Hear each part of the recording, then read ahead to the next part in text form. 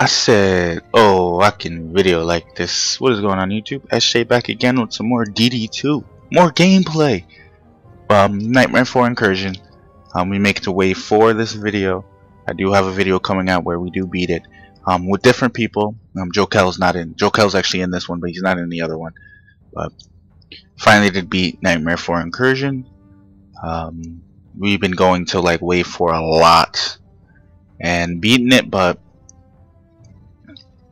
then dying on wave 5 which was the main problem like going to wave 4 and dying on wave 5 but you're just watching the combat phases. Build phase is so long this video will break easily 20 minutes if I show the build phase and all that.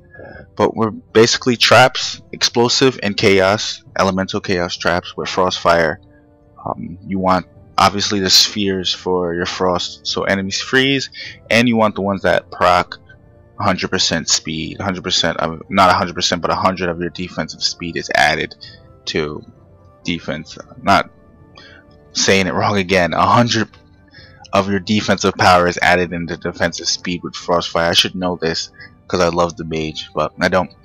And you want pieces of gear I find out. Gear that have combat service on them are really really good. Hero damage with combat service are really really good. You can repair faster and more often. And that's the thing. There's no more AFK I see. You can't really AFK Nightmare 4 it's impossible. Um, monsters hit too hard. You need to be doing repairing repairing. And that's what a lot of people want back. Like in DD1 uh, it was just a bunch of AFKers but I'm not saying everybody AFK don't get me wrong. I didn't even play that much but on PS3 like it was just a lot of AFK builds. Nobody really wanted to play. They wanted to get the best build and then just AFK it, get the loot, AFK the next one, AFK. Nobody really wanted to play, but and now you have to play. You have to have a strategy. You have to have a four-man team, three-man team, two-man team. The cooperative in this game is necessary. It's like you need it to progress. Once you get to Nightmare 3, you have all your gear you're going to want to find a team. You're going to want to find a party to go into that Nightmare 4 incursion. So you have a better time of getting that 600 plus gear. I have a Huntress that's sitting at about 715 item power. I do have about 6 heroes that are level 50 that I use from... Um, I have Frostfire, I have Phoenix Claw, I have Poison Towering, and that's what it is. I have all these heroes, and they all have different builds. Um, meet in a tavern, social tavern. If I meet people there, I'd like to go into a public, um, a private tavern, and we compare traps, compare walls, compare boost stores, surrenders, so we know who has the best stuff.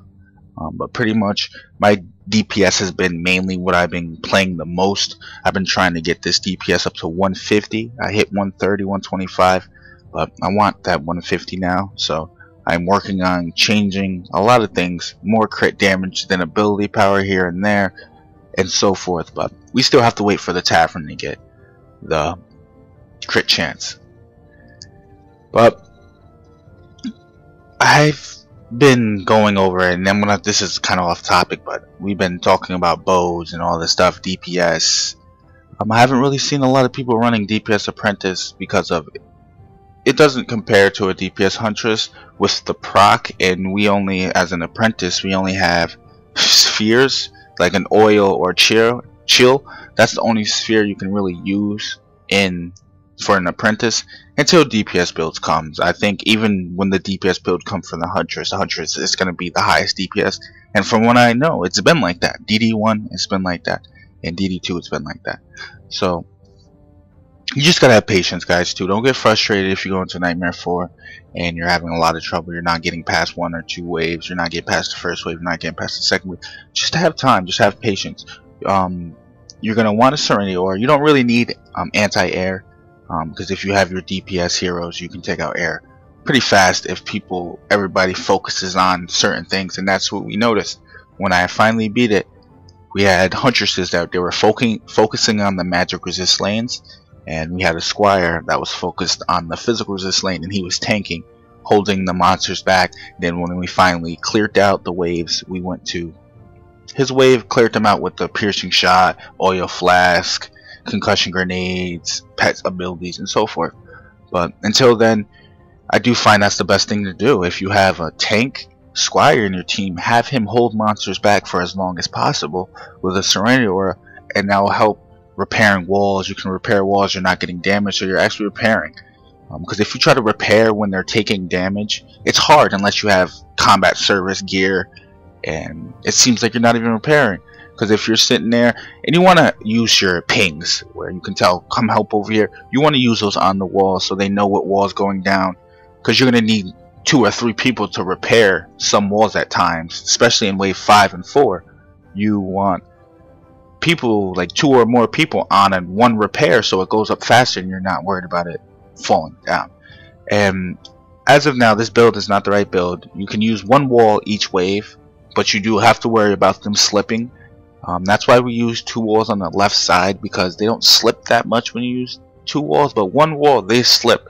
And if they slip and somebody does not see that the gem or the eternity crystal is getting hit, it will go down within two hits, three hits because it's Nightmare 4 and everything hits hard. So you want to make sure that the monsters are not going to slip through. Because if they start slipping, especially in the later waves when basically hordes of them are coming out, they will slip through because they're hoarding up. And if they slip through, you will lose eventually. And so forth. But that's pretty much it. You want good walls. You want to use the monk's passive sphere to bring those walls even higher. But I've seen people, we have done it with 250k walls, make it to wave 4. We have made it to wave 5 with 330k. So there is some RNG luck and so forth because with the you don't know when your traps are going to crit. You don't know how much the crit damage is going to be. So there is a little bit of RNG in Nightmare 4 depending on if you're going to win or not. There is RNG, but there's not that much RNG. If you have a good enough build, you have good enough DPS out there, you should be able to, to take out the ogres, the two ogres that come, and then the boss at the final wave and because the boss hits so hard you guys want to take him out as quick as possible. You want to focus on that. As you see the mistake I'm making here I'm not focusing on the Wyverns the Wyverns got a little too far close and they're already here and look how high their health is. It's not low enough. So you have to watch out for those air units. And you don't want to stand on your frost towers and shoot the air units because if that suicide bomber, air suicide bomber comes through, it's going to land directly on you and it's going to destroy all your towers, your frost towers that is. So other than that, it's pretty much RNG until you get good gear from Nightmare 3. I should be working on my walls, but I'm just really working on DPS for so long. But I'm going to go to DPS on my apprentice too and have a really really nice apprentice build for you guys. The build I had before is pretty basic, but as you see here, you're going to see it's just we can we're doing good as you see there. The air units got a little too close and that's what the problem my problem was. I didn't watch the air.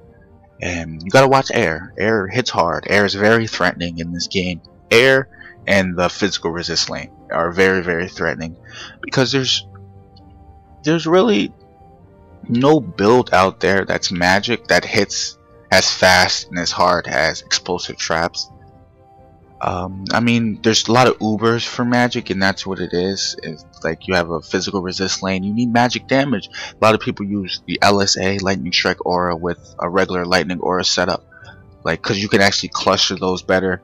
Um, you used to be able to cluster any type of traps, but now with the new builds, you can't really cluster a lot of traps. You can still cluster your explosive traps, but you can't cluster like your towers anymore, like you used to be able to. But that being said, this is your boy SJ. This is really a quick video. Um, I just want to get a quick video out. I want to thank you guys for 300 subscribers.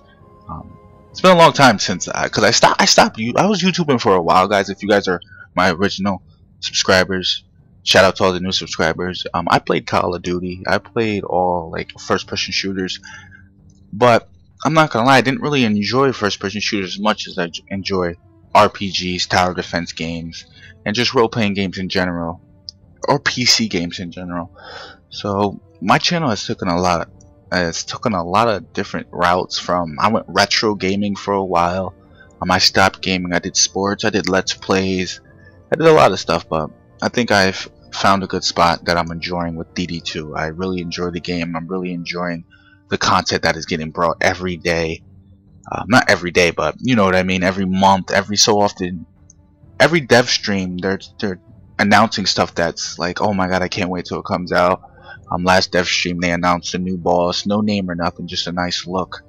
But they announced so much stuff, and there's just so much stuff that can happen with DD2. Because if you compare to DD1, just how much DLC was in DD1, from heroes to costumes, I didn't play DD1 that much on PC, so a lot of the DLC didn't happen for PS3 and Xbox 360. But a lot of it was I should be focused. That's a lot of it was I didn't play DD2, and right now I really should just talk about the video right now. As you see, I'm not focusing on the boss, and that's the problem. I should be focusing on the boss and repairing, and I apologize for that. I was not repairing. I do not have a repair thing up, um, and I'm slacking. I'm trying to melt him as fast as possible, and when I finally start to repair, it is a little too late in my opinion, and we fail this. I've I will take the blame for this fail because I wasn't repairing and I wasn't focusing on the boss and he hit so hard. You really want to focus a lot of your energy on him but we can beat this easily especially with this team that I had in this video. We could beat this. I know we could beat this because how fast we were cruising through the first four waves and then we got to the fifth wave and it was just I lose concentration. I start to want to take out enemies as fast as possible over here then move to this lane. Um, you want to just worry about your lane, your job, and hopefully you have best outcomes, better outcomes than we have at the end of this video. But this video, it was fun. That's all. all at the end of the day, if you're having, I just hope you're having fun playing DD2. Um, it is frustrating, but it gets frustrating. I know it gets frustrating, especially when you're trying the next tier and you feel like you're at the next level. But it's very hard now. Um, if you guys were in the pre-alpha stages, the game was so easy and we wanted a difficulty thing and with Nightmare 1, 2, 3, and 4 um, difficulty returned. But this is your boy SJ and I'm out